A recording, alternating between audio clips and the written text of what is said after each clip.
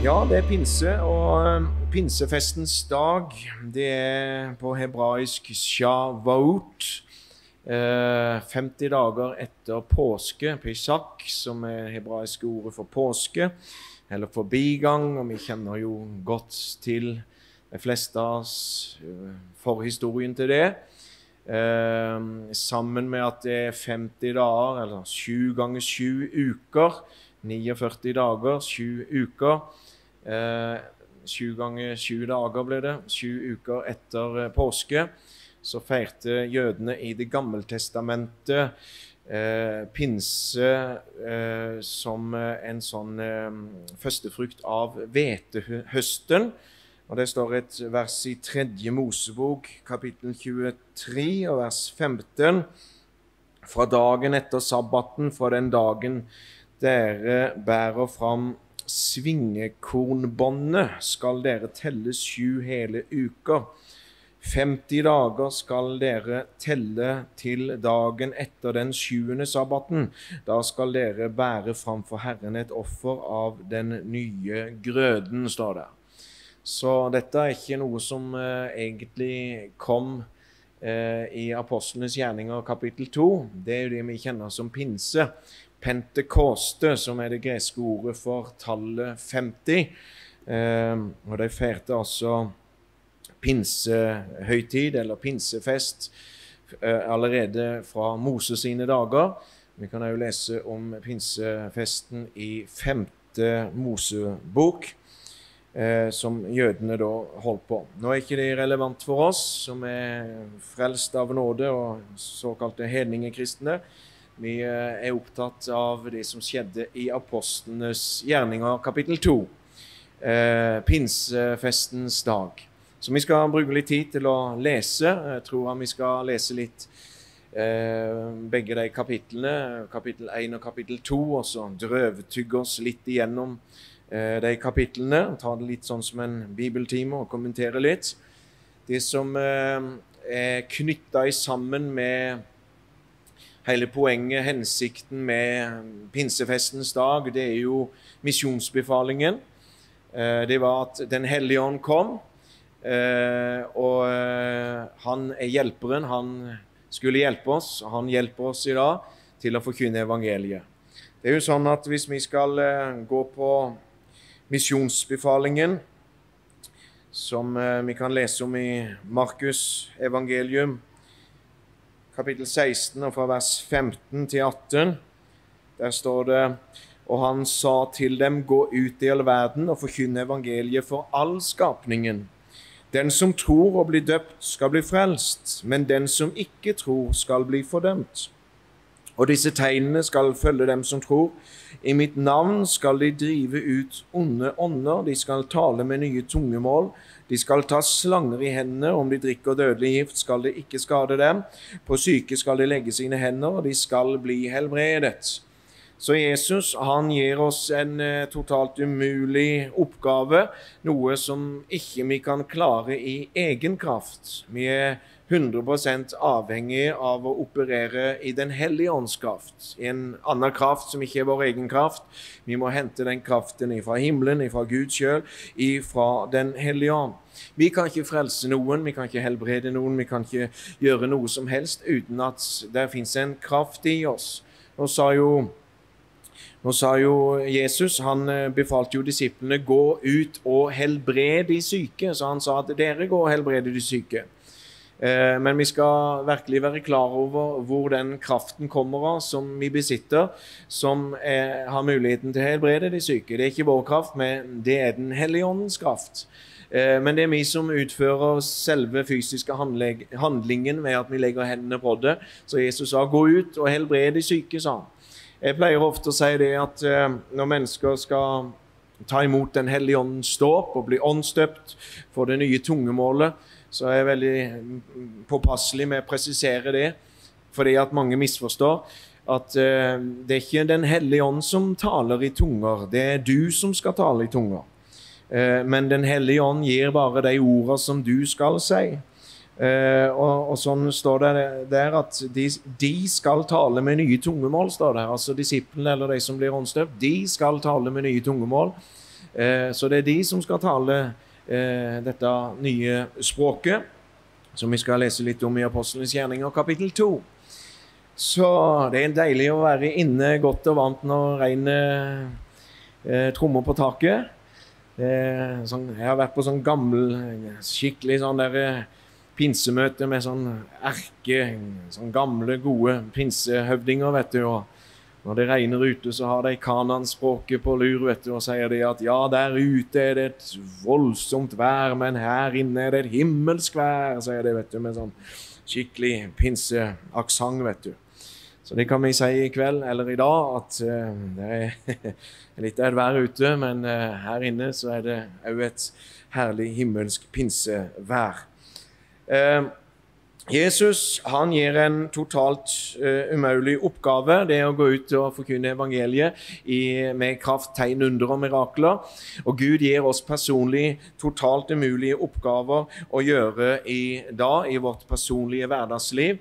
Så uh, hvis, du, hvis, du, føler at Gud ber deg om å gjøre noe som du kan klare i egen kraft, med ditt eget intellekt og fordi du er så flink og alt det der, så er det antageligvis ikke Gud. Det er bare en god idé. Men hvis du kjenner at Gud kaller deg til å gjøre noe som du bare vet at det klarer ikke jeg å gjøre, du er 100% avhengig av Gud, ja, da er det sannsynligvis Gud som har talt til deg. Vi er 100% avhengig av Den hellige åndens kraft. Amen. Eh, vi går til apostlenes gjerninger, kapittel 1. Jesus han har gitt misjonsbefalingen. Og en eh, mann eller en person som ligger for døden, har samla sine kjære rundt seg de orda som denne døende personen vil meddele til sin, sine nærmeste, til sin familie, det er ganske viktige ord. Det er jo sjelden det at en døende person kaller til seg familien rundt senga og sier det at dere må huske på å tømme støvsugerposen og gi katten mat og sånn er reist. Nei, det er ikke sånne ord du hører fra en person som forlater denne jord. En person som forlater denne jord, han gir det beste, det viktigste. Han gir det legate, den arven som han legger igjen etter seg, så da gir han noen meget viktige ord. Sånn er det når et menneske forlater denne jord. Og når Jesus Kristus forlot denne jord, så kom han med essensen av det viktigste som er sagt i Bibelen. Det er gå ut i all verden og forkynne evangeliet for all skapningen. Helbrede syke, kast ut onde, eh, onde ånder, og, og eh, dere skal tale i tunger. I Apostlenes gjerninger så jeg, er jeg veldig frista til å bruke litt tid til å, til å lese. Eh, jeg tror vi bare begynner fra kapittel 1 i Apostlenes gjerninger. Den første bok skrev jeg, Theofilus, om alt det som Jesus begynte med både å gjøre og lære, inntil den dag han ble tatt opp til himmelen etter at han ved Den hellige ånd hadde gitt sine befalinger til de apostler han hadde utvalgt. Så Det er jo Lukas som har skrevet apostlenes gjerninger, og han skrev denne historien til en som, kar som heter Theofilus, som antageligvis var en høytstående person. Um, vers 3.: for, den, for dem fremstilte han seg levende med mange beviser etter at han hadde lidd. I 40 dager viste han seg for dem og talte om det som hører Guds rike til. Så Jesus han uh, var blant disiplene Eh, i 40 dager. Og så for han på Kristi himmelfartsdag, som vi akkurat har eh, feirt. Eh, så for han til himmelen, og så gikk det enda ti dager. Og det var den 50. dagen etter påske, etter at Jesus var død oppstanden. Så, så gikk det 50 dager til pinse.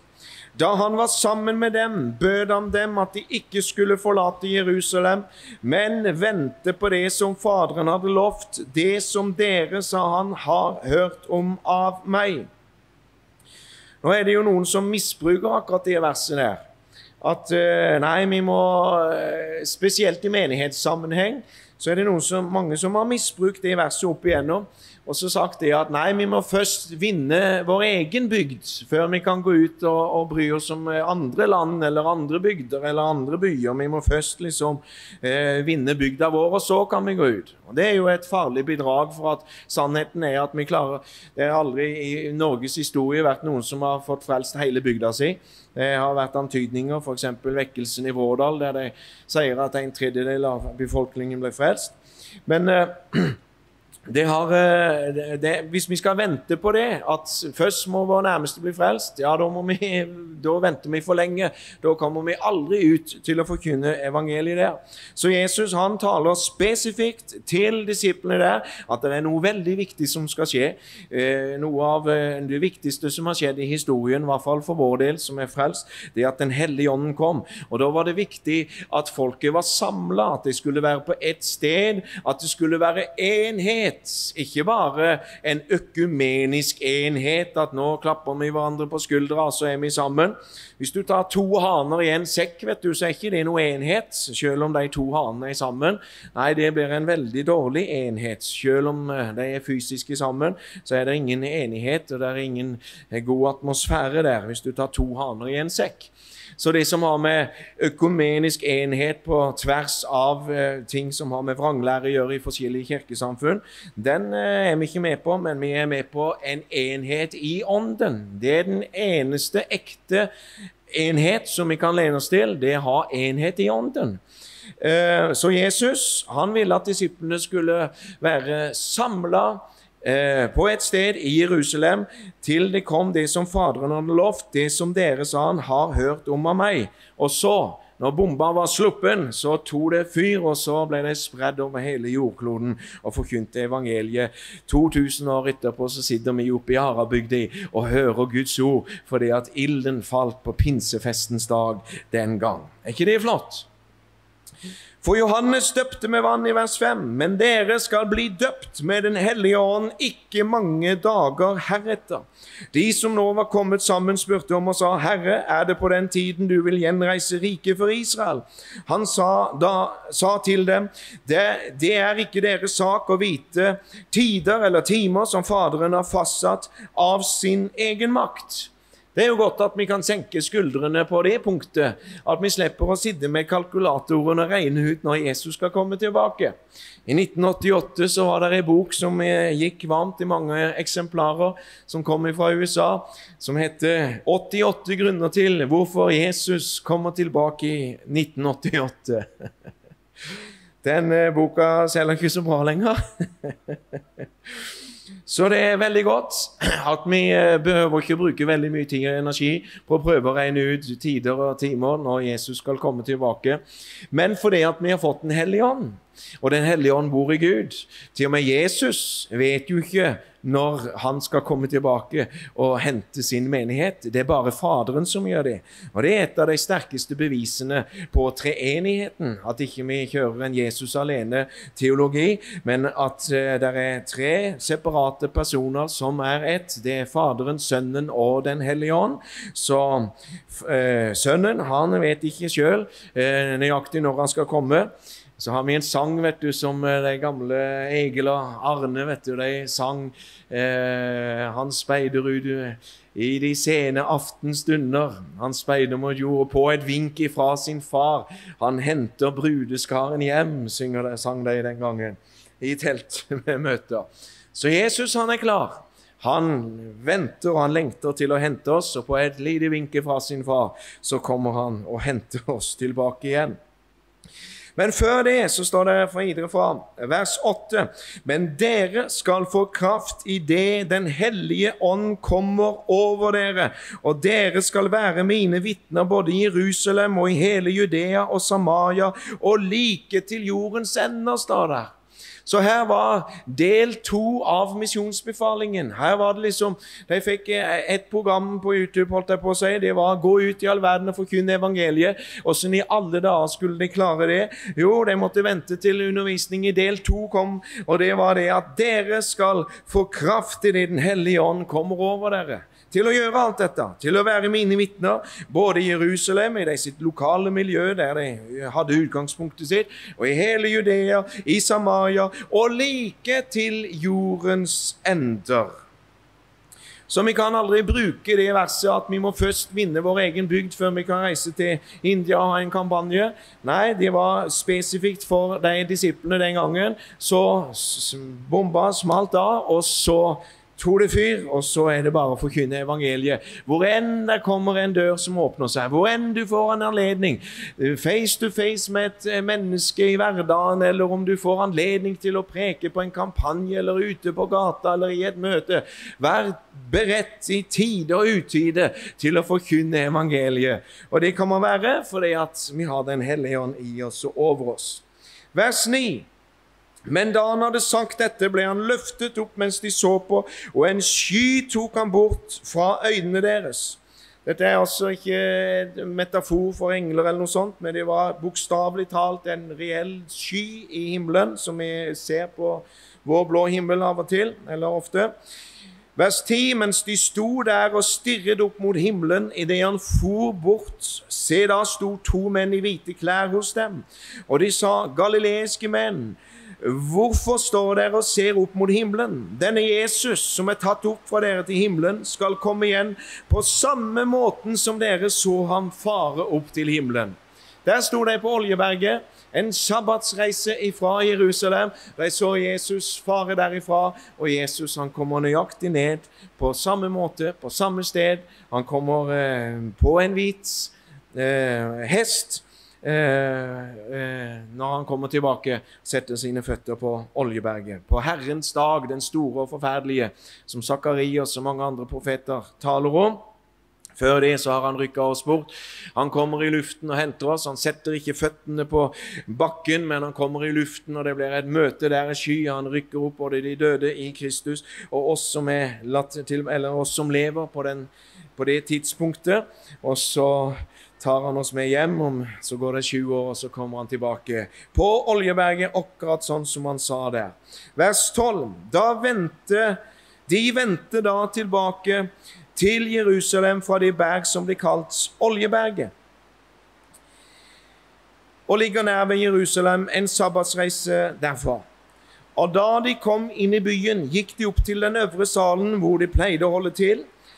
Det var Peter og Johannes, Jakob, Andreas, Philip, Thomas, Bartolomeus og Matteus, Jakob, sønn av Alfeus, Simon Seloten og Judas, sønn av Jakob. Alle disse holdt sammen og var utholdende i bønnen sammen med noen kvinner av Maria, Jesu mor, og hans brødre. Der er Jesu mor, Maria, nevnt for siste gang i Det nye testamentet og er aldri nevnt med ett ord videre noen gang i Det nye testamentet. Katolikkene de dyrker henne som eh, som en uh, gud, men Maria var et menneske som oss, brukt av Gud. Og så er det jo sånn at de mangla en apostel, og videre i versa så, så er det en som blir valgt til det eh, ved loddtrekning. Vi skal ikke ta oss tid til å lese så mye av det. Men Peter han står opp, og han eh, har en veldig klar tanke og konkluderer med det at eh, det var tolv stykker som skulle være apostler, og én måtte erstatte Judas, som var gått til sitt eget sted. Og Da hadde han et kriterium at det måtte være en person som hadde vært med helt fra døperen Johan sine dager, som hadde vært med gjengen, som hadde sett Jesus i aksjon, som hadde vært en del av fellesskapet.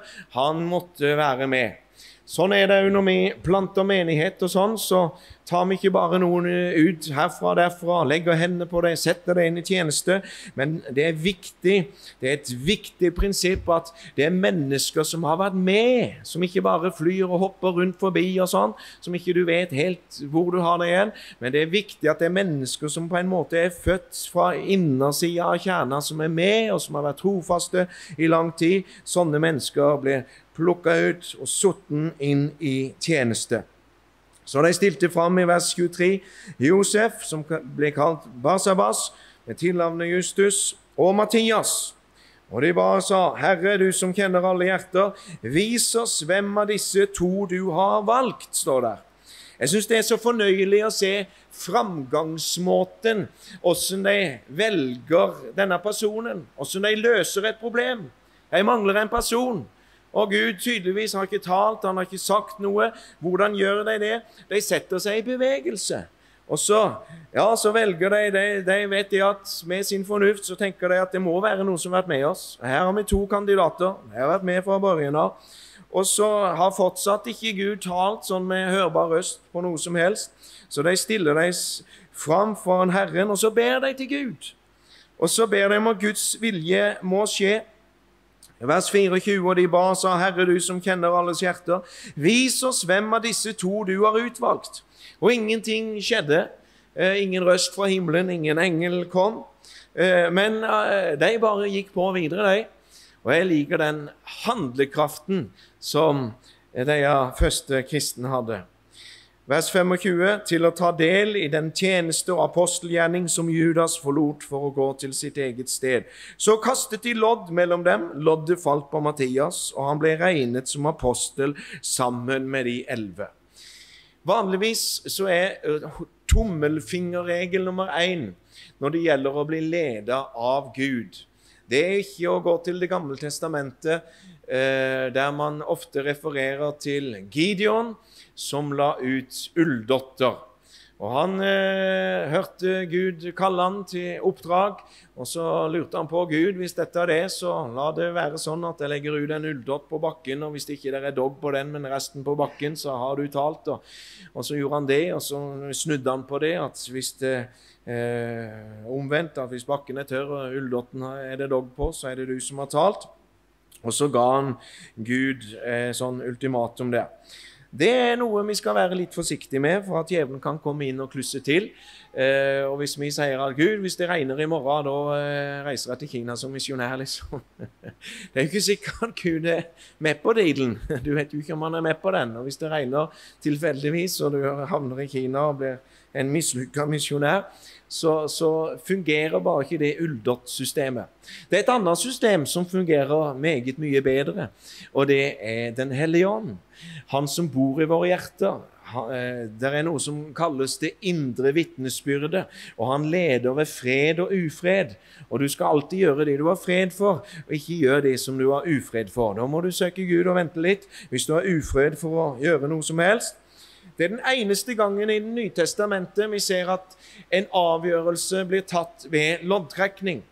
Eh, hovedregelen er at du skal gå på det indre vitnesbyrdet. Lenger ned på lista så kommer profetier og sånn, som egentlig bare er bekreftende. Men hovedsakelig hvordan du hører ifra Gud, det er at du sjøl personlig hører ifra Gud i hjertet ditt, for der bor Han. Den hellige ånd. Og det er du som har øre til å høre. Du har gitt, blitt gitt, en evne til å høre ifra Gud. Og det holder. Men så er det sånn at Gud òg kan lede gjennom omstendigheter. Og av og til så gjør han det. I dette tilfellet så kasta de lodd, og Gud leda omstendigheten til at loddet falt på Mattias. Så han var der med i den prosessen som de hadde lagt. Nå kommer vi til kapittel to, til uh, virkelig indrefileten av pinsens budskap. Kapittel to og vers 1. Og da pinsefestens dag var kommet, altså uh, shawaut, som, som, som, er det hebraiske ordet på pinse, en fest som hadde vart fra Moses sine dager da pinsefestens dag var kommet, var de alle samlet på samme sted. Det er en kraft i det når kristne står sammen på samme sted. Det er en eksplosiv kraft i det. Da har du tilrettelagt for at Den hellige ånd kan lande. Der det fins splittelse og splid og uenigheter, er det veldig vanskelig, nesten umulig, for Den hellige ånd å gjøre noe som helst. Men der det fins en enhet i ånden, i sjel og i tanke, ja, der er det gode muligheter for Den hellige ånd. Vers 2. Da kom det med ett en lyd fra himmelen, som når et veldig stormvær farer fram, og fylte hele huset der de satt. Og det viste seg for dem tunger, like som av ild, som delte seg og satte seg på hver enkelt av dem. Da ble de alle fylt med Den hellige ånd, og de begynte å tale i andre tunger, alt ettersom Ånden gav dem å tale, står det. Igjen så er det For å poengtere det, så er det ikke Den hellige ånd som taler i tunger. Det er du som taler i tunger, men Den hellige ånd gir orda som du skal si. Da ble de alle fylt med Den hellige ånd. Og de begynte, de begynte, ikke Den hellige ånd, men de begynte å tale i andre tunger, alt ettersom Ånden gav dem å tale. Mange som jeg bedt i åndsdåp for, de er veldig forsiktige. Jeg var sånn sjøl når jeg ble åndsdøpt. Det er noen ytterst få vet du, som er liksom født pinsevenn. Nordmenn er født med ski på beina, og noen er bare født liksom latent skikkelig sånn Maranata, pinsevenn. Så når en sånt menneske blir åndsdøpt, vet du, så går de under stolen omtrent vet du, og ligger der og, og, og i falsett taler i tunger i tre timer. Og så har vi hørt noen sånn vitnesbyrd, så tenker alle at ja, sånn skal det være, sånn skal det foregå. Men saken er at når du blir åndsdøpt, så får du forløst et språk. Det er Den hellige ånd som har ord inni deg. Han har orda, men du må tale det ut. Og så er det et samarbeid mellom deg og Den hellige ånd, der du kan tale. Du får dette språket. Når du har fått det, så kan du bruke det når du vil. Eh, du kan bare begynne å tale det. Eh, sjelen kan innarbeide det, sånn at du husker visse ting og sånn. Det er årsaken til at både fulle folk og frafallende kan eh, memorere og huske tunger og sånt. De kan eh, ta det og sånt. og av og til så kan man begynne å tale i tunger, og så kommer Den hellige ånd rett på med en gang og så tar over, fordi at du bare begynner. Eh, men det som kommer fra kilden, det er det som Den hellige ånd bringer. Det er det den tungetalen, den flowen der. Dette levende vannet som Jesus taler om. Det er det som veller fram der. Akkurat her i denne passasjen så er det jo sånn at uh, de får ikke direkte dette bønnespråket som vi får når vi blir døpt i Den hellige ånd, men de fikk en sånn skikkelig dåp, ikke bare i Den hellige ånd, men også i ild. Og det var en Guds ild som satte fyr på apostlene, sånn at de kunne ikke la være å tale, de bare begynte å preke med en gang. Det står at de var samla på øvre sal i begynnelsen, og der hadde de bønnemøter i ti dager før dette skjedde. Eh, det kan synes som at de er samla i et annet hus rundt nær tempelplassen, for de gikk straks ut på tempelplassen eh, på den dagen de ble døpt i Den hellige ånd, da tungene kom. Det er noen som eh, absolutt vil ha tunger av ild, at jeg skal synes. Man ønsker å se tunger av ild.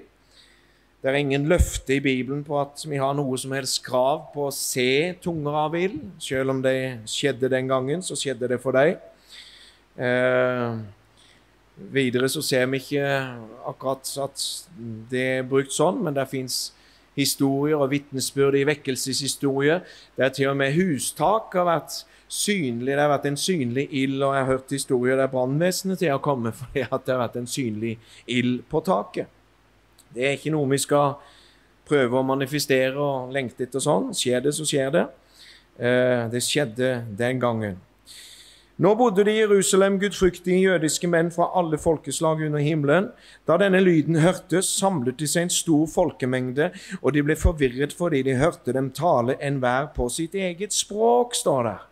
De ble helt ute av seg undring og sa, er ikke alle disse som taler, galileere? Hvordan kan det gå til at hver av oss hører vårt eget språk, det som vi er født i? Vi partere med så kommer det en lang liste med folkeslag der. Eh, alle ble forferdet i hver stål og var i villrede, og den ene sa til den andre, hva kan vel dette være? Men den andre sa spottende, de er fulle av søt vin, står, det. Og er, Vi kan kun spekulere i De sa at det var full av søt vin. Det var kanskje en, en dum unnskyldning på å prøve å forklare hva som skjedde, hvis ikke du skulle ta med Den hellige ånd i betraktning. Um, det er ikke sikkert de rava rundt og var helt galninger, men jeg tror kanskje at de var veldig glade. Uh, de var fylt av gledens olje. Og når Den hellige ånd kommer, sånn, så kan du bli veldig glad og lystig. og Av og til så kjenner jeg blir sånn lattermild. Når jeg ber for noen mennesker, så, så, så, blir jeg bare veldig glad. Det kommer en salvelse, så må jeg smile og så må jeg humre og le litt, og så fryder jeg meg. Så hvis du opplever at jeg ber for deg, og så begynner jeg å le litt, så ler jeg ikke av det. Du må ikke bli usikker og liksom tenke at nå er det nå liksom har jeg syltetøy på kinnet eller eh, et eller annet som er galt her. Nei, hvis jeg ber for det, jeg begynner å le litt, så er det bare fordi at jeg fryder meg i Den hellige ånd. Jeg blir glad. Og jeg kjenner at det tar tak, og at det fins en glede der. Så når de forkynte ordet, så tror jeg at de sto ikke der med gravalvorlig en gravalvorlig mine i ansiktet. Jeg tror de var sprudlende glade, og de forkynte det var som en salvelse jog gjennom kroppen, og det var vel så det killa gjennom både armer og bein idet de kjente at Den hellige ånd jog gjennom dem, og de kunne forkynne evangeliet på alles språk der. Det er et fenomen som vi har hørt om i vekkelseshistorie og hørt om i dag. Vi har ei dame i menigheten som Inger Tormine, som hadde tunger til ei syrisk dame, som forsto det, som ikke ble tyda, men det var et språk som, som gikk direkte til denne dama, som ble tyda.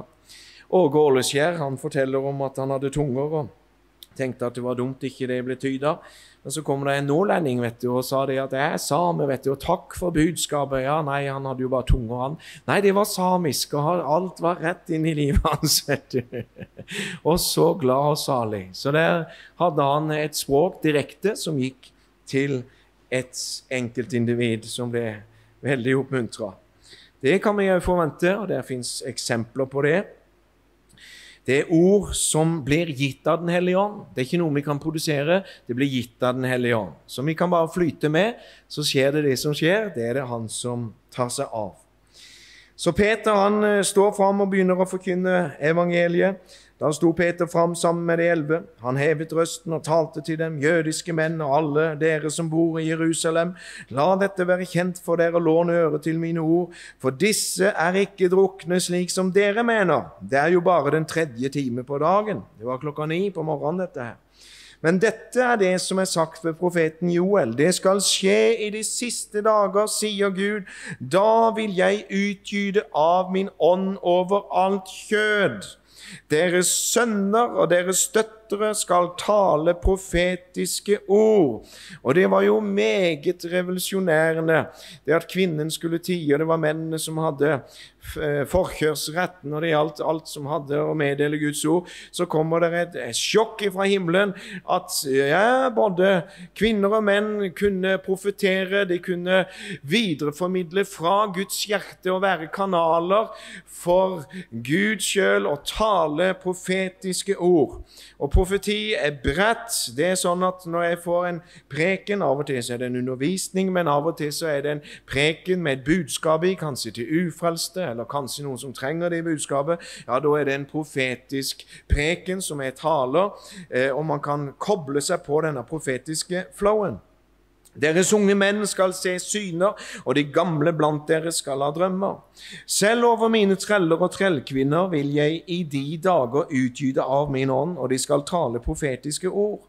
Så her ble det bare naila. Altså. Det ble bare poengtert ytterligere, til og med treller. Det laveste i samfunnet. Gud gjorde ikke forskjell på noen, verken eh, av kjønn eller status. Han bare sa det at Den hellige ånd kommer til å bli utgitt over alt kjød. Ikke over visse kvalifiserte, men over alt kjød. Og de skal tale profetiske ord. Muslimer i dag får syner, drømmer, åpenbaringer, ser Jesus og blir frelst.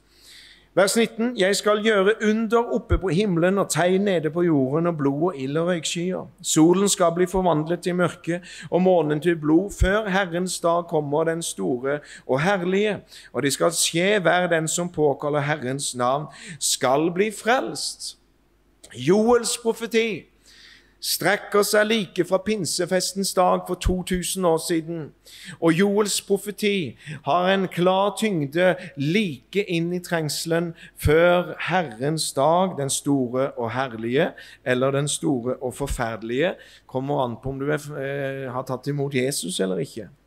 Så der står at 'jeg skal gjøre under på himmelen og tegn nede på jorden, blod og ild og røykskyer'. Er det noe vi skal vente på? I vår tid? Nei, dette er en klar profeti på hva som skal skje i trengselen. Joels profeti gjelder ikke bare i de 2000 år, nådens tidshusholdning eller menighetens tidsalder. Joels profeti gjelder veldig tydelig og klart gjennom hele den sju års lange trengselen. Og der kommer skillet. Når vi blir rykka bort, da slår profetien inn. Da oppfylles den som står i vers 19, at jeg skal gjøre under oppe på himmelen og tegn nede på jorden og blod og ild og røykskyer. Da er det masse fenomener som skal skje med eh, Det kan være vulkanutbrudd, det kan være meteoritter som lander på jorda osv. Solen skal bli forvandlet til mørke og månen til blod. Ja, det skal skje i trengselsperioden før Herrens dag kommer, den store og herlige. Ja, hva med blodmånene, da, som det er skrevet litt bøker om og sånt? Det er jo noe som skjer i våre dager. Gud han eh, gir alltid en forsmak på det som skal komme. Gud, eh, Jesus han delte ut helbredelse før korset. Og Det var der vi ble, det var der vi ble helbreda, det var der vi ble frelst. Ja, men han delte ut litt på, på forhånd. Og Sånn er det jo at det kommer til å være visse tegn som skjer før trengselen. Og Det er det mange av Israel som nasjon som fikk landet tilbake. Et tegn, og det er mange, mange mange tegn i Bibelen i vår tid. Men eh, det kommer veldig sterke tegn, massive tegn i, på himmel og på jord i trengselsperioden. Og det er akkurat det denne profetien handler om. Så står det at det skal skje hver den som påkaller Herrens navn, skal bli frelst. Det gjelder nå, og det gjelder gjennom hele trengselsperioden. Når jeg var gutt, så hørte jeg en en eh, litt undervisning om endetid, og da ble jeg lært det at eh, når menigheten er bortrykka, så forsvinner Den hellige ånd fra jord. Fordi at Den hellige ånd bor i alle som er frelst, og når alle som er frelst, er borte, ja, da er det heller ikke noen hellig ånd tilbake. Eh, det er nok ikke Det er ingen eh, belegg eh, i Bibelen på det. Tvert imot så er det veldig mange vers f.eks. Sakarias og mange andre profeter, som er veldig tydelige og klare på at uh, Den hellige ånd kommer til å være på jord gjennom hele trengselsperioden, faktisk gjennom hele tusenårsriket. Den hellige ånd kommer ikke til å forlate skuta, han kommer til å være her. Den hellige ånd han var her når jorda lå øde og tom. Da var han og svevde over vannene, og han kommer fortsatt til å være her. For det står det at hver den som påkaller Herrens navn, skal bli frelst, og gjennom hele trengselen så vil mennesker bli frelst. Hvem er disse som kommer ut av den store trengsel? Disse som er kledd i hvite kapper? Eller hvem er disse som er kledd i hvite kapper? Det er disse som kommer ut av den store trengsel, står der i Johannes' oppmaring. Hele hensikten med trengselen det er for at så mange som mulig skal bli frelst og ta imot Jesus. Så hvis vi venter på vekkelse, så tror jeg på at Gud gjør oss en forsmak på den vekkelsen som skal komme. Så det, det vil bygge seg opp, og det vil bli en, jeg tror på vekkelse i endetida. Jeg tror ikke bare at alt skal bli mørkt, men jeg tror også på vekkelse. Men den skikkelige vekkelsen, som man aldri har sett maken til historien, den kommer etter at menigheten er blitt rykka bort. Da kommer de 144 000 vitnene til å gå ut og forkynne evangeliet. De to ildvitnene kommer til å forkynne evangeliet. Og mange mennesker kommer til å erindre forkynnelsen for oss kristne om at dette er trengselsperioden, og vi må ta imot Jesus Kristus. Og så står det det at eh, i Sakarias så står det at nådens og bønnens ånd skal utgytes. Og når skal det skje? Ja, det er ikke først og fremst i vår tid, selv om vi tar og anvender det. Så ber vi om nådens og bønnens ånd, men spesifikt i verset, det er mynta på når Herrens dag kommer. Når Jesus setter sine føtter på Oljeberget, så skal hvert øye som har gjennomstunget ham, se ham som han er. De skal gråte sårt over ham, og, og, og, Gud skal utgyte nådens og bønnens ånd. Og da skal Det hellige ånd bare massivt utgytes over den tredjedel av jøder som er tilbake, etter den trengsel som verden aldri har sett maken til. Der skal Den hellige ånd utgytes, og så kommer de til å rope på Jesus og omvende seg til Jesus Kristus. Den hellige ånd var i begynnelsen. Den hellige ånd kommer aldri til å forlate jorda. Eh, den hellige ånd, han er iblant oss akkurat her og nå. Jeg kjenner han. Han kommer ofte i bølger. og Den hellige ånd, han kommer, han kommer veldig sterkt når, eh, når det er passasjer du sier eller forkynner i Guds ord som Den hellige ånd liker. Da kommer han som en salvelse, som en vind. Så kommer han, og så styrker han det, og så sanksjonerer han at 'dette liker jeg'. Så det er visse ting i Guds ord, hvis du underviser masse om kjedelige, tørre greiner, greier, så kommer ikke Den hellige ånd og salver deg. Men hvis du berører ting som rører Guds hjerte, berører ting som Den hellige ånd liker, så kommer Den hellige ånd med en sanksjon i form av sitt nærvær.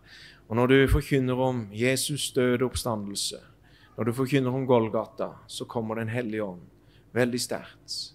Den hellige ånd overbeviser syndere akkurat i det enkle, men kraftfulle budskapet. I Johannes' åpenbaring Vi går inn for landing.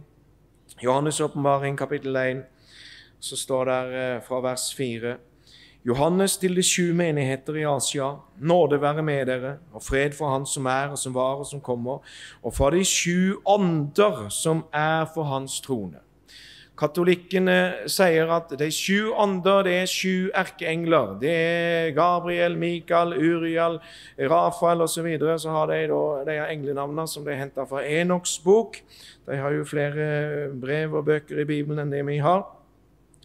Eh, men det er lite sannsynlig at eh, Gud inkluderer engler som i forhold til Gud er meget ubetydelige i forhold til Gud. Gud gir en hilsen ifra seg sjøl, ifra Jesus og ifra sin Hellige Ånd. De sju ånder er Den hellige ånd. Og fra Jesus Kristus, de troverdige vitne, den førstefødte av de døde og herskeren over kongene på jorden, Han som elsker oss og løste oss fra våre synder med sitt blod, og som gjorde oss til ett kongerike, til prester for Gud sin Far, ham være æren og makten i all evighet. Amen, står der. Han gjorde oss til ett. Og der flyter Den hellige ånd. Det kan ikke flyte en salvelse i et eh, fellesskap der det sitter eh, forskjellige eh, kirkesamfunn som ikke tror på fullheten av evangeliet. En på den sida, en på den sida, så skal du tro at du skal skape noe sterkt fellesskap. Den hellige ånd flyter bare i et fellesskap som er fundamentert på Guds ord. Vers 7 sier han kommer med skyene og hvert øye skal se ham, også de som har gjennomstunget ham. Det er den tredjedelen av jøder som blir igjen der. Og alle jordens slekter skal gråte sårt over ham. Ja, amen. Jeg er alfa og omega, sier Gud Herren, Han som er og som var og som kommer, den allmektige. Johannes' åpenbaring, kapittel 4, vers 5. Fra tronen går det ut lyn og røster og tordendrønn, og sju ildfakler brenner foran tronen det er de sju Guds ånder. Det er Guds ånd. Han bor i Gud. Han er Gud. Han er selveste Gud. Gud er så suveren at han ikke er lokalisert til et fysisk sted, men han sitter på tronen, og han er midt iblant oss av Den hellige ånd. Den hellige ånd er representert på utsida av Gud som sju ildflakler, sju fullkommenhetens tall, og så er han midt iblant oss her og nå. Halleluja. Halleluja. Jeg oppfordrer deg til å ta imot tungetalen og bli åndsdøpt. Vi fundamenterer doktrine kun på Guds ord. Så er det andre skrifter som vi kan ta bak øret, men som ikke vi lager noen doktrine på. Jødiske beretninger forteller at når ypperstepresten gikk inn i det aller helligste, så kunne de høre at han talte i et annet språk til tider. Det kan vi ikke lage en doktrine på. Men det fins noe som heter englers språk, som Paulus snakker om i 1. Korinters brev, kapittel 13, om jeg taler med menneskers eller englers tunge og ikke har kjærlighet. Så det fins et himmelspråk. Sannsynlig så fikk prestene snert av i språket når de tjente for Gud i hans nærvær. Jeg prata med en metodist i Ungarn en gang, som var misjonær fra USA. Jeg spurte han litt om ting, og han var veldig forundra, for jeg ba for noen, og så falt jeg i bakken, og han lurte på det var for noe. og så, så, sa han det at uh, han trodde ikke på tungetale. Det praktiserte ikke metodisten i USA. Han trodde ikke på tungetale. Nei, så de hadde ikke det med i sin lære. Men, sa han, av og til når jeg ber, så kommer det noen rare ord, sa han. Jaha, tenkte jeg. Så du, du fornekter at det fins noe tungetale, men det kommer noen rare ord når du ber. Ord som er lært av Ånden. Det er veldig udramatisk. Du behøver ikke å bli slått i bakken og ligge under en stol og rope i tunger i falsett i tre timer. Men det er ord som bobler fram der, det levende vann, Den hellige ånd som bor der, de bare kommer fram. Så kan man bruke det i språket. Usigelige ord, sukk som ikke rommes i ord. Så kan man snakke til Gud på sitt eget språk, på englerspråk. Så skjønner hele himmelen hva du snakker om. Et språk som ikke din forstand kan formulere, men bare ditt hjerte kan formulere. Og Jesus elsker hjertespråket ditt mye mer enn ditt fornuftsspråk. Av og til så ber vi Gud, jeg ser at det er sånn og sånn og sånn, og sånn, men han ønsker egentlig å høre hjertespråket ditt, åssen du taler i hjertet. Og Når du taler i tunga, så taler du Guds hjertespråk, og han forstår deg så vel. Og store ting blir utretta i åndsverden fordi du taler i tunga. Kjære himmelske Far, jeg priser deg